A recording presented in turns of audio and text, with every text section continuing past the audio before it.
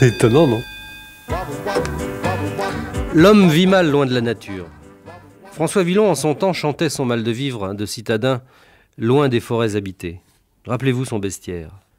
On que ne vit biche au bois, on que nu faucon dessus mon poignet droit, on que ne vit petit singe au gentil minois, onc, onc, onc. C'est joli, hein J'aime les animaux. Je vis en contact permanent avec les animaux. Contrairement à Villon qui stagnait dans le ruisseau, j'ai la chance d'habiter en plein Paris une maison qui donne sur un petit jardin. Quelle joie chaque matin d'ouvrir les volets pour entendre tousser les oiseaux. Paris est plein d'animaux. Pour qui sait écouter la nature, la ville est une fête. Écoutez le gai cuit-cuit du moineau qui pépille. Écoutez le doux crou-crou du pigeon qui recoule. Écrasez le gros caca du chien-chien qui pète. Je possède un chat persan. Enfin, je suis possédé par un chat persan, pardon. Indépendance et fierté, le chat n'est que noblesse. Particulièrement le persan, car les persans se prennent tous un peu pour le chat. J'ai su tempérer la sublime arrogance du mien. Je lui ai coupé la queue et je l'ai tordu comme un caniche. Vous savez, juste laisser la fraise et les pâtes à pompons. En plus, je le fais dormir dans le frigo pour lui redire un peu la démarche. Il y a gagné en humilité ce qu'il a perdu en grâce. Depuis que le berger allemand le sodomise dans sa sûre, sa majesté féline a la couronne un peu penchée. Tous les animaux sont utiles à l'homme, et pas seulement parce qu'ils nous aiment, qu'ils nous gardent ou qu'on les bouffe. Les animaux ont souvent des qualités qui font défaut à l'homme. Il y a sûrement plus d'humanité dans l'œil d'un chien quand il remue la queue que dans la queue de Le Pen quand il remue son œil.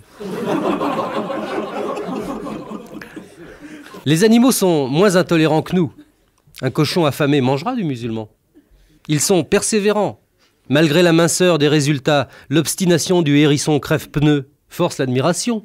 Et comment ne pas louer la sobriété de la camelle, qui peut tenir 60 jours sans fumer de cameau Ou l'admirable pudeur de l'anaconda, qui peut se masturber sans bouger les genoux, non seulement parce qu'il n'a pas de genoux, mais parce que, et ça c'est authentique, je le tiens du regretté Trémolin, il lui reste à l'anaconda de l'époque où il était quadrupède deux embryons de papates enfermés sous la peau à hauteur des génitoires, ce qui lui permet donc de se chatouiller de l'intérieur à l'abri des gelées matinales et sans risquer des coups de bâton sur la gueule quand il croise un flic au bois de Boulogne. Pour toutes ces raisons, nous devons aimer nos frères animaux et mépriser leurs bourreaux. Honte aux bouchers, abat les corridas, je le dis sans joie, car j'aime le peuple espagnol, ce peuple fier et ombrageux avec un tout petit cul pour éviter les coups de corne. À mort les bouchers, à mort les matadors, à mort la mère Bardot, qui ne craint pas de s'exhiber en pull de laine arraché poil par poil sur le dos du mérinos innocent.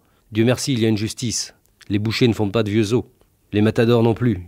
Il n'y a que Bardot qui s'éternise, réchauffant sa vieille gloire dans l'ample culotte en bébé phoque d'Amar que le capitaine Greenpeace lui a offert l'année dernière à la Saint-Hubert. Moi, jamais je n'aurais pu être boucher. J'avais pas le cœur. Je n'aurais pas pu être Matador. Je n'avais pas les tripes. J'aurais pas pu être Bardot. J'avais pas les fesses.